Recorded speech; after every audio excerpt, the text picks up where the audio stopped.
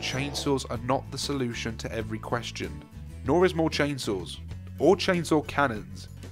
Except for that one time, and yes, it was awesome.